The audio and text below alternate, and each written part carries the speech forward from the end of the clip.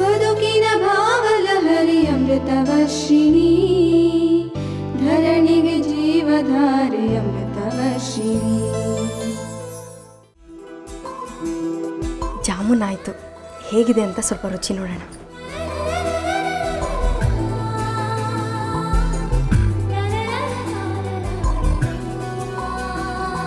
ಹ್ಞೂ ರುಚಿ ಏನೋ ಚೆನ್ನಾಗಿದೆ. ಆದರೆ ಇದು ಅವ್ರಿಗೆ ಇಷ್ಟ ಆಗೋದೇ ಮುಖ್ಯ. ದೇವ್ರೆ ಇದು ಅವ್ರಿಗೆ ಇಷ್ಟ ಆಗಲಿ. ಅವ್ರು ನನ್ನನ್ನು ಮೆಚ್ಕೋಬೇಕು ಅಂತ ಕೇಳ್ತಿಲ್ಲ. ನನಗೆ ಅವ್ರು ಸಂತೋಷವಾಗಿರೋದಷ್ಟೇ ಮುಖ್ಯ.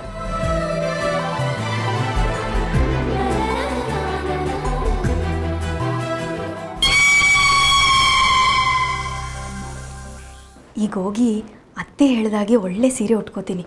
ತಡ ಆಗಿಬಿಟ್ರೆ ಕಷ್ಟ.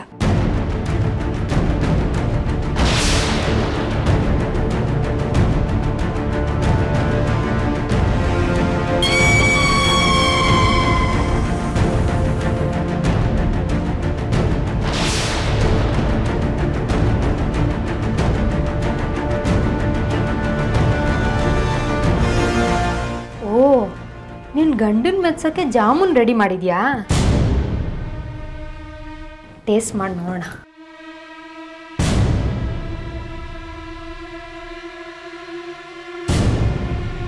ವಾವ್. ಪರವಾಗಿಲ್ಲ ಕಣೆ, ತುಂಬ ಚೆನ್ನಾಗಿ ಮಾಡಿದ್ಯಾ? ಆದರೆ ಏನು ಪ್ರಯೋಜನ? ಈಗ ನೋಡು ಏನು ಮಾಡ್ತೀನಿ ಅಂತ. ಈಗ ಕೆಟ್ಟೋಗಿರೋ ಸ್ವೀಟ್ಸ್ನ ಇದ್ರ ಜೊತೆಗಿಟ್ಟು, ಆಗ ನಿನ್ನ ಗಂಡ ಈ ಜಾಮೂನ್ ಜೊತೆಗೆ ಇದನ್ನು ತಿಂದು ಇದನ್ನು ನೀನೇ ಮಾಡಿದ್ಯಾ ಅಂತ ನಿನಗೆ ಚೆನ್ನಾಗಿ ಉಗಿಬೇಕು. ಹಾಗೆ ಮಾಡ್ತೀನಿ. ಆಗಲೇ ನನ್ನ ಮನ್ಸಿಗೆ ಸಮಾಧಾನ.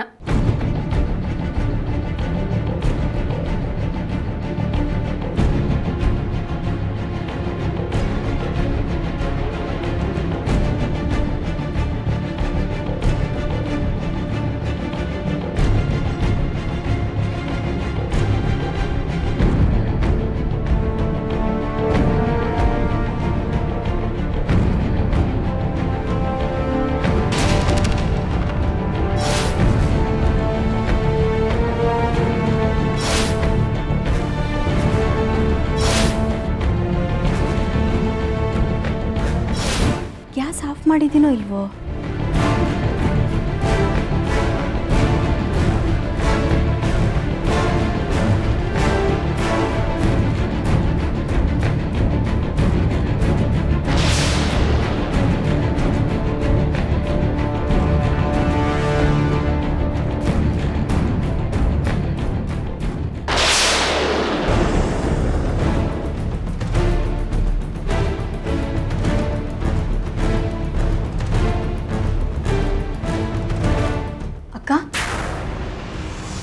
ಏನು ಅದು ನೀನು ನಿನ್ನ ಗಂಡಂಗೋಸ್ಕರ ಜಾಮೂನ್ ರೆಡಿ ಮಾಡಿದ್ಯಲ್ಲ ಅದ್ರ ಜೊತೆಗೆ ಈ ಸ್ವೀಟ್ಸು ಇರಲಿ ಅಂತ ಇಡ್ತಿದ್ದೆ ಅಷ್ಟೇ. ಅಕ್ಕ ಅತ್ತೆ ಹೇಳಿರೋದು ಬರೀ ಜಾಮೂನ್ ಮಾಡೋಕ್ಕೆ ಈಗ ಇದನ್ನೆಲ್ಲ ಇಟ್ಟರೆ ಅವ್ರಿಗೆ ಇಷ್ಟ ಆಗದೆ ಇರ್ಬೋದಲ್ವಾ? ಒಂದೆರಡು ವೆರೈಟಿ ಸ್ವೀಟ್ಸ್ ಹೆಚ್ಚಿಗೆ ಇದ್ರೆ ಅವ್ರೇನು ಅನ್ನಲ್ಲ. ಸುಮ್ಮನಿರು ಹಾಗಲ್ಲಕ್ಕ ಈ ಸ್ವೀಟ್ ಹೇಗಿದೆಯೋ ಏನೋ ಅದ್ರ ರುಚಿ ಚೆನ್ನಾಗಿಲ್ಲ ಅಂದರೆ ಏನು ಮಾಡೋದು? ನೇ ಸ್ವೀಟ್ಸ್ ಯಾವಾಗಲೂ ರುಚಿಯಾಗೇ ಇರುತ್ತೆ. ಅಲ್ಲದೆ ಎಲ್ಲ ಸ್ವೀಟ್ಸ್ಗೂ ಸಕ್ಕರೆ ಹಾಕೇ ಮಾಡೋದು ನೀನೇನು ಭಯ ಪಡಬೇಡ ಸುಮ್ಮನಿರು ಅಮೃತ ನಾನು ಇದನ್ನೆಲ್ಲ ಮಾಡ್ತಿರೋದು ನೀನು ಒಳ್ಳೇದಕ್ಕೋಸ್ಕರ. ನೀನು ಬೇಡ ಅಂದರೆ ಬಿಡು ನಾನು ಇದನ್ನೆಲ್ಲ ತೆಗೆದಿಡ್ತೀನಿ. ಅಕ್ಕ ನನಗೆ ಅವ್ರು ಸಂತೋಷವಾಗಿರೋದಷ್ಟೇ ಮುಖ್ಯ. ಇರಲಿ ಬಿಡು. ಸರಿ ಸರಿ. ಆದರೆ ಇದೆಲ್ಲ ನನ್ನ ಕೆಲಸ ಅಂತ ನೀನು ಯಾರಿಗೂ ಹೇಳಬಾರ್ದು. ನೀನೇ ಮಾಡಿದ್ದು ಅಂತಲೇ ಹೇಳಬೇಕು. ಆಯಿತಾ? ಆಯ್ತಕ್ಕ. ಅಯ್ಯೋ ಅವ್ರು ಬಂದರು ಅನ್ಸುತ್ತೆ. ನಾನು ಇನ್ನೂ ಸೀರೆನೇ ಬದಲಾಯಿಸಿಲ್ಲ. ಈ ಸೀರೆನೇ ಚೆನ್ನಾಗಿದೆ. ನೀನು ಹೋಗಿ ಬಾಗಿಲು ತೆಗಿ. ನಾನು ಅಷ್ಟರಲ್ಲಿ ಇದನ್ನೆಲ್ಲ ರೆಡಿ ಮಾಡಿಬಿಡ್ತೀನಿ. ಇಲ್ಲಕ್ಕ ಅತ್ತೆ ಸೀರೆ ಬದಲಾಯಿಸೋಕೆ ಹೇಳಿದ್ದಾರೆ. ನಾನು ಹಿಂಗೋಗಿ ಹಂಗೆ ಬಂದ್ಬಿಡ್ತೀನಿ. ಹೋಗು ಹೋಗು. ನೀನು ಎಷ್ಟೇ ಅಲಂಕಾರ ಮಾಡ್ಕೊಂಬಂದ್ರು ಇವತ್ತು ಬಯಸ್ಕೊಳ್ಳೋದಂತೂ ಕಾಯಂ.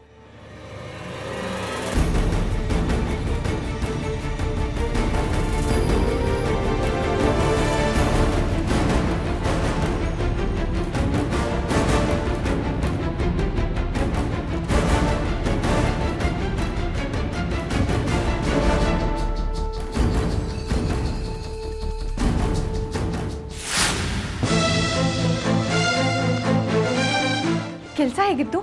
ನಮ್ಮ ಆಫೀಸ್ ಹೇಗೆ ಅನಿಸ್ತು ಏನೋ ತುಂಬಾ ಚೆನ್ನಾಗಿದೆ. ಆದರೆ ಅಲ್ಲಿ ಕೆಲಸ ಮಾಡೋ ಅರ್ಹತೆ ನನಗಿಲ್ಲ. ಯಾಕೆ? ಯಾಕಂದರೆ ನನಗೂ ಅವ್ರು ಕೊಟ್ಟಿರೋದು ನನಗೆ ಹೋಗ್ತಿದ್ದು ಮೀರಿದ ಕೆಲಸ. ಅದು ನಾನು ಅವ್ರ ಮನೆ ಅಳಿಯೋ ಅನ್ನೋ ಕಾರಣಕ್ಕೆ. ಅದು ನಂಗೆ ತುಂಬಾ ಕಷ್ಟ ಅನಿಸ್ತದೆ. ಕಷ್ಟ ಅಂತ ಅಂದ್ಕೊಂಡ್ರೆ ಹಾಗೆ ಆಗುತ್ತೆ. ಅದನ್ನೆಲ್ಲ ಬಿಟ್ಟು ಚೆನ್ನಾಗಿ ಕೆಲಸ ಮಾಡೋದ್ರ ಕಡೆ ಗಮನ ಕೊಡು. ನಮ್ಮ ಅಣ್ಣಂದರು ದೊಡ್ಡಪ್ಪ ತುಂಬ ಒಳ್ಳೆಯವರು. ಅಲ್ಲಿ ನಿನ್ಗೆ ಏನು ಬೇಕಾದರೂ ಸಪೋರ್ಟ್ ಮಾಡ್ತಾರೆ. ನಿಮ್ಮ ದೊಡ್ಡಪ್ಪ ವಿನಯ್ ಸಪೋರ್ಟ್ ಮಾಡ್ಬೋದು. ಆದರೆ ವಿಜಯ್ ಅವ್ರಿಗೆ ನಾನು ಕೆಲಸ ಮಾಡೋದು ಇಷ್ಟ ಆಗ್ತಲ್ಲ ಯಾಕಂದರೆ ಇವತ್ತು ಅವ್ರ ರಿಯಾಕ್ಷನ್ ಆಗಿತ್ತು. ನನಗೇನೋ ಅಲ್ಲಿ ಕೆಲಸ ಮಾಡೋದು ಒಳ್ಳೇದಲ್ಲ ಅನಿಸ್ತದೆ. ನಾನು ಬೇರೆ ಬಿಸ್ನೆಸ್ಸನ್ನು ಮಾಡ್ತೀನಿ. ನೋಡು ಎಲ್ಲವೂ ಒಂದೇ ದಿನಕ್ಕೆ ಸರಿ ಹೋಗ್ಬಿಡಲ್ಲ. ಅದು ಅಲ್ಲದೆ ಅಣ್ಣ ಯಾವಾಗಲೂ ಮೂಡಿಯಾಗೇ ಇರ್ತಾನೆ. ಅದಕ್ಕೆ ನಿನ್ಗೆ ಹಾಗನ್ಸಿದೆ ದಿನ ಕಳೀತಾ ಅವನು ನಿನ್ನ ಜೊತೆ ಮಿಂಗಲ್ ಆಗ್ತಾನೆ. ಡೋಂಟ್ ವರಿ ಸರಿ.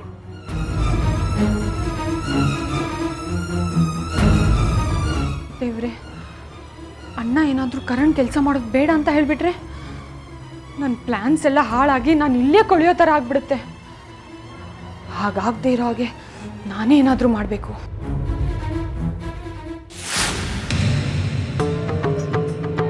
ಅಮೃತ ವಿಜಯ್ ಬಂದಾಯ್ತು. ಇನ್ನೂ ಯಾಕೆ ಸೀರೆ ಬದಲಾಯಿಸ್ಕೊಂಡಿಲ್ಲ? ಜಾಮೂನ್ ಮಾಡೋಷ್ಟ್ರಲ್ಲಿ ತಡ ಆಗೋಯ್ತೋತೆ. ಅದಕ್ಕೆ ಸರಿ ಸರಿ. ಬೇಗ ಹೋಗಿ ರೆಡಿ ಆಗಿಬಿಟ್ವಾ ವಿಜಯ್ ಹೋಗಿ ಫ್ರೆಶ್ ಅಪ್ ಆಗಿಬಿಟ್ವಾ ಯಾಕಮ್ಮ? ಬಂದ ಮೇಲೆ ಗೊತ್ತಾಗುತ್ತೆ. ಹೋಗು.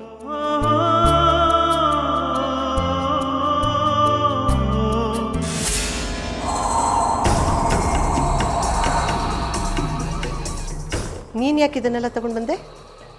ಅತ್ತೆ ಅಮೃತನೇ ಹೇಳಿದ್ದು ನಾನು ರೆಡಿಯಾಗಿ ಬರೋದು ಲೇಟ್ ಆಗುತ್ತೆ ನೀನೇ ತಗೊಂಡು ಬಾ ಅಂತ. ಅದಕ್ಕೆ ನಾನೇ ತಂದೆ. ಸರಿ ಸರಿ ಅಲ್ಲಿ ಇಡು.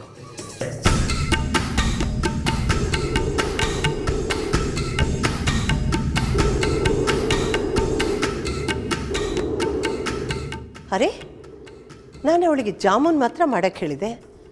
ಇದನ್ನೆಲ್ಲ ಯಾಕೆ ಮಾಡಿದ್ದಾಳೆ? ನೀನೇನಾದರೂ ಮಾಡಕ್ಕೆ ಹೇಳಿದ್ಯಾ? ನಂಗಿದ್ರ ಬಗ್ಗೆ ಎಲ್ಲ ಏನು ಗೊತ್ತಿಲ್ಲ ಅತ್ತೆ. ಅಮೃತ ಹೇಳಿದ್ಲು ಅಂತ ಅಡುಗೆ ಮನೆಯಿಂದ ತಂದೆ ಅಷ್ಟೇ.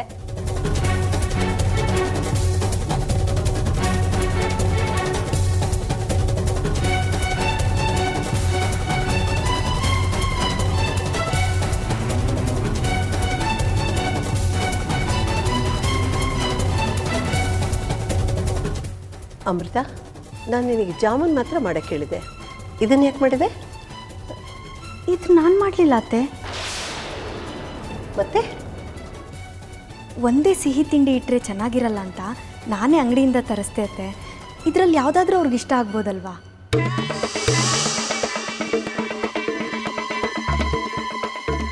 ಅಮ್ಮ ಏನಮ್ಮ ವಿಷಯ? ಕೂತ್ಕಪ್ಪ. ನೋಡು ನಿನಗಿಷ್ಟವಾದ ಜಾಮೂನ್. ಅಮ್ಮ, ಬೆಳಗ್ಗೆ ನಾನು ನಿಮ್ಮ ಹತ್ರ ಸರಿಯಾಗಿ ಮಾತಾಡಲಿಲ್ಲ. ಐ ಆಮ್ ವೆರಿ ಸಾರಿ ಪರವಾಗಿಲ್ಲಪ್ಪ ನಿನ್ನ ಪ್ಲೇಸಲ್ಲಿ ಯಾರಿದ್ರೂ ಹಾಗೆ ಮಾಡ್ತಾರೆ. ಅಮೃತ, ಕೊಡು.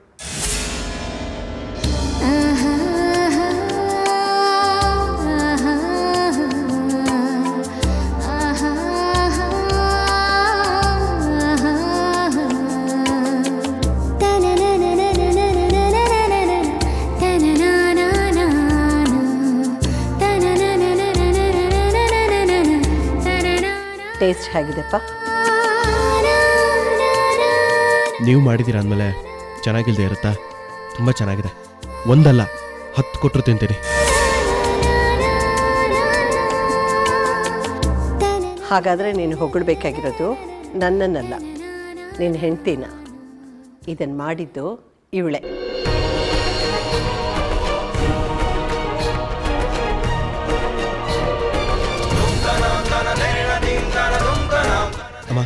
ನನಗೆ ಬೇಡ. ಅರೆ ಚೆನ್ನಾಗಿದೆ ಅಂತ ಹೇಳ್ಬಿಟ್ಟು ಈಗ ಬೇಡ ಅಂತೀಯಲ್ಲ? ನೀವು ಮಾಡಿದ್ರೆ ನಿಜವಾದ ಪ್ರೀತಿ ಇರುತ್ತೆ. ಅದಕ್ಕೆ ಯಾಕೆ ಹೇಳಿದೆ. ಆದರೆ ಅಮ್ಮ ಐ ಆಮ್ ಸಾರಿ ವಿಜಯ್! ನೋಡಿದ್ರೆ ಅತ್ತೆ ನಾನು ಮಾಡಿದ್ದವ್ರಿಗೆ ಇಷ್ಟ ಆಗಲ್ಲ. ನಾನು ಮಾಡಿದ್ದು ಅಂತ ಹೇಳದೇ ಇದ್ದಿದ್ರೆ ಇನ್ನೂ ಸ್ವಲ್ಪ ತಿಂದಿರೋರು. ಈಗ ತಿಂತಾ ಇರೋದನ್ನು ಅರ್ಧಕ್ಕೆ ಬಿಟ್ಟು ಹೋದ್ರು.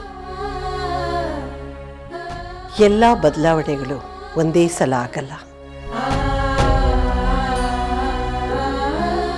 ಈಗ ನನ್ನ ಕೈ ರುಚಿ ಚೆನ್ನಾಗಿದೆ ಅಂತ ಹೇಳ್ತಾ ಇರೋನು, ಮುಂದೆ ಒಂದು ದಿವಸ ನಿನ್ನ ಕೈ ರುಚಿನೂ ಚೆನ್ನಾಗಿದೆ ಅಂತ ಹೇಳ್ಬೋದು.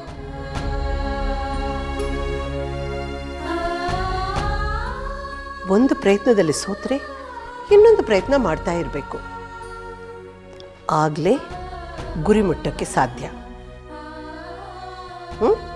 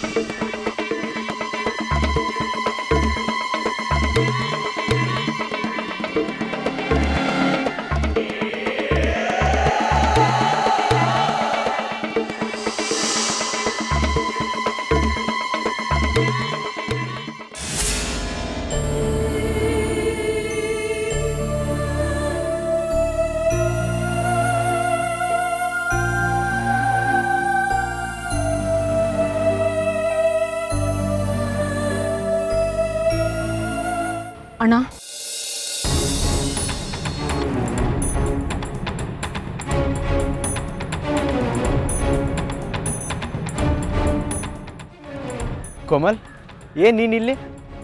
ಅಣ್ಣ ನಾನು ನಿನ್ನ ಹತ್ರ ಮಾತಾಡಬೇಕು. ಏನು? ಕರಣ್ ರಾತ್ರಿ ತುಂಬ ಅಪ್ಸೆಟ್ ಆಗಿದ್ದ. ಏನು ಅಂತ ಕೇಳಿದ್ದಕ್ಕೆ? ನಾನು ಇಲ್ಲಿ ಕೆಲಸ ಮಾಡೋದು ನಿಮ್ಮ ಅಣ್ಣನಿಗೆ ಇಷ್ಟ ಆಗ್ತಿಲ್ಲ ಅದಕ್ಕೆ ಈ ಕೆಲಸ ಬಿಟ್ಬಿಡ್ತೀನಿ ಅಂತ ಹೇಳ್ದ. ಅಣ್ಣ ಪ್ಲೀಸ್ ನಮ್ಮ ಮನೆ ಪರಿಸ್ಥಿತಿ ನಿಂಗೆ ಚೆನ್ನಾಗಿ ಗೊತ್ತಿದೆ. ಈಗ ಇಲ್ಲಿಂದ ತೆಗೆದ್ಬಿಟ್ರೆ ತುಂಬ ಪ್ರಾಬ್ಲಮ್ ಆಗುತ್ತೆ. ಅದಕ್ಕೆ ಇದು ಒಂದು ವಿಷಯದಲ್ಲಿ ಅಡ್ಜಸ್ಟ್ ಮಾಡ್ಕೊ. ಕರಣ್ ನಮ್ಮ ಕಂಪನಿಲಿ ಕೆಲಸ ಮಾಡ್ತಿರೋದ್ರಿಂದ ನನಗೇನು ಕಷ್ಟ ಆಗಲ್ಲ. ಆದರೆ ಈ ವಿಷಯನ ಅಮ್ಮನಿಂದ ಮುಚ್ಚಿಡೋದು ನನಗೆ ಕಷ್ಟ ಆಗತ್ತೆ.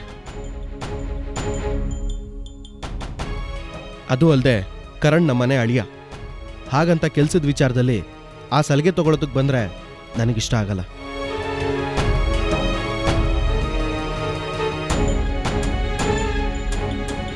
ಇಲ್ಲಿ ವಿನಯ್ನು ಒಬ್ಬ ಕೆಲಸಗಾರನಾಗಿ ನೋಡ್ತಾ ಇದ್ದೀನಿ. ಯಾಕೆಂದರೆ ನನಗೆ ಕೆಲಸನೇ ಬೇರೆ, ರಿಲೇಷನ್ಶಿಪ್ಪೇ ಬೇರೆ. ಅದನ್ನು ಕರಣ್ ಅರ್ಥ ಮಾಡ್ಕೊಂಡು ಕೆಲಸ ಮಾಡಿದ್ರೆ ಅವನು ಇಲ್ಲೇ ಉಳ್ಕೋತಾನೆ. ಇಲ್ಲ ಅಂದರೆ ಐ ಆಮ್ ಸಾರಿ ಇಲ್ಲ ಅಣ್ಣ ನಾನು ಅವನಿಗೆ ಎಲ್ಲ ಹೇಳಿದ್ದೀನಿ. ಅವನು ಇಲ್ಲಿ ಒಬ್ಬ ಕೆಲ್ಸಗಾರನಾಗೆ ಇರ್ತಾನೆ.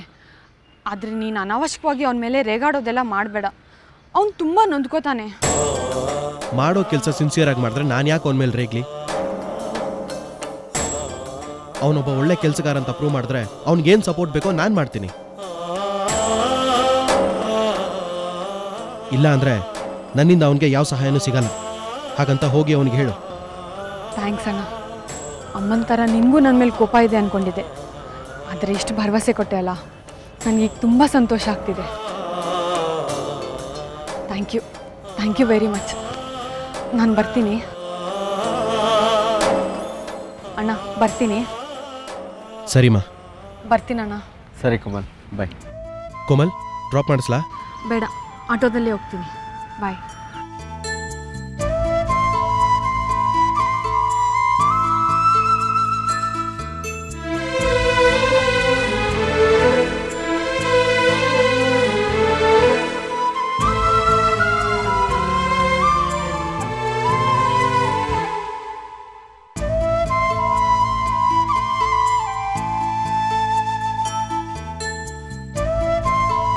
ವಿನಯ್?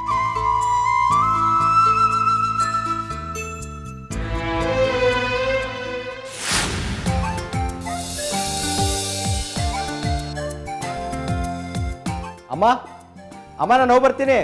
ವಿನಯ್ ಒಂದ್ ನಿಮಿಷ. ಏನಮ್ಮ? ವಿನಯ್ ನಿನ್ನೊಂದು ಮಾತು ಕೇಳಬೇಕಾಗಿತ್ತು. ಕೇಳಿಮ್ಮ. ವರ್ಷ ಹತ್ರ ಏನಾದ್ರು ಜಗಳ ಮಾಡ್ಕೊಂಡ್ಯಾ? ಯಾಕೆ ಹೀಗೆ ಕೇಳ್ತಿದ್ದೀರಾ? ನಿನ್ನೆ ನೀನು ಅವಳಿಗೆ ವಜ್ರ ದುಂಗುರ ತಂದು ಕೊಟ್ಟರು ಅವಳು ಮುಗ್ದಲ್ಲ ಆ ಖುಷಿನೇ ಇಲ್ಲ. ಆ ಖುಷಿನ ಮರೆಸುವಷ್ಟು ಅವಳ ಮನಸ್ಸಿಗೆ ನೋವಾಗಿದೆ ಅನಿಸುತ್ತೆ. ಅದಕ್ಕೆ ಕೇಳ್ತಾ ಇದ್ದೀನಿ ವಿನಯ್. ನಿಜ ಹೇಳು ಅವಳಿಗೇನಾದರೂ ಅಂದ್ಯಾ? ಅಮ್ಮ, ನಾನು ನಿನ್ನೆ ಅವಳಿಗೆ ರಿಂಗ್ ತಂದು ಕೊಟ್ಟಾಗ ಅವಳು ಫೋನ್ ಬಿಲ್ ಬಂತು. ನೋಡಿದರೆ ಐದು ಸಾವಿರ ಬಂದಿದೆ. ಹಿಂದೆ ಒಂದು ಸಲ ಮೂರು ಸಾವಿರ ರೂಪಾಯಿ ಬಿಲ್ ಬಂದಿದ್ದಕ್ಕೆ ಚಿಕ್ಕಮ್ಮ ಎಷ್ಟೆಲ್ಲ ಗಲಾಟೆ ಮಾಡಿದರು. ಈಗ ಐದು ಸಾವಿರ ರೂಪಾಯಿ ಬಿಲ್ ಬಂದಿದೆ ಅಂತ ಗೊತ್ತಾದರೆ ಸುಮ್ಮನೆ ಬಿಡ್ತಾರಾ? ಅದಕ್ಕೆ ಸ್ವಲ್ಪ ರೇಗ್ ಮಾತಾಡಿದೆ. ಅಷ್ಟಕ್ಕೆ ಕೋಪ ಮಾಡ್ಕೊಂಡಿದ್ದಾಳೆ. ಯಾಕೆ ಹೀಗೆ ಮಾಡ್ತಾಳವಳು ನನಗಂತೂ ಅರ್ಥನೇ ಆಗ್ತಾ ಇಲ್ಲ. ಬರೀ ಫೋನ್ ಬಿಲ್ ಜಾಸ್ತಿ ಬಂತು ಅಂತ ನನಗೆ ಬೇಜಾರಾಗ್ತಿಲ್ಲ. ಅವಳು ಯಾವಾಗಲೂ ಅವ್ರ ಅಮ್ಮನ ಜೊತೆ ಫೋನಲ್ಲಿ ಮಾತಾಡ್ತಾನೆ ಇರ್ತಾಳೆ. ನನ್ನ ಆಫೀಸಿಂದ ಬಂದ ಮೇಲೆ ಅವಳ ಹತ್ರ ಮಾತಾಡೋಕ್ಕೆ ಹೋದರೆ ಆವಾಗೂ ನನ್ನ ಜೊತೆ ಸರಿಯಾಗಿ ಮಾತಾಡೋದಿಲ್ಲ. ಫೋನಲ್ಲಿ ಮಾತಾಡ್ತಿರ್ತಾಳೆ. ಅದಕ್ಕೆ ಒಂದೊಂದು ಸಲ ತುಂಬ ಹರ್ಟ್ ಆಗುತ್ತೆ ಅಮ್ಮ. ಸರಿ ಬಿಡು. ಇನ್ನು ಈ ವಿಷಯದ ಬಗ್ಗೆ ನೀನು ಅವಳ ಹತ್ರ ಏನು ಮಾತಾಡೋಕೆ ಹೋಗ್ಬೇಡ. ಅವಳಿಗೆ ಅರ್ಥ ಆಗೋ ಥರ ನಾನು ಹೇಳ್ತೀನಿ. ನೀನು ಹುಷಾರಾಗಿ ಹೋಗ್ಬಿಟ್ಟು ಬಾ. ಸರಿ ಅಮ್ಮ. ಬಾಯ್ ಬಾಯ್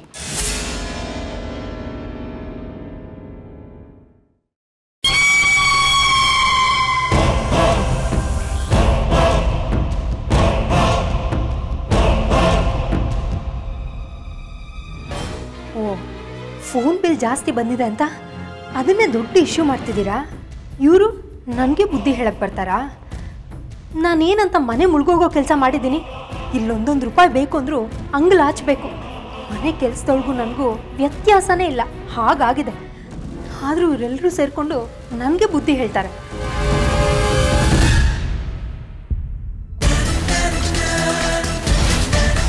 ಇವತ್ತು ಇವ್ರಿಗೆಲ್ಲ ನಾನೇನು ಅಂತ ತೋರಿಸ್ತೀನಿ.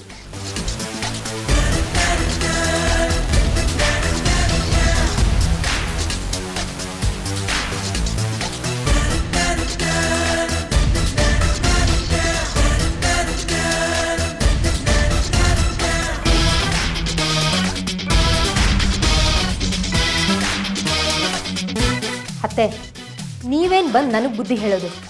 ಇವತ್ತು ನಾನೇ ನಿಮ್ಮ ಬಾಯಿನ ಹೇಗೆ ಮುಚ್ಚಿಸ್ತೀನಿ ನೋಡ್ತಾ ಇರಿ.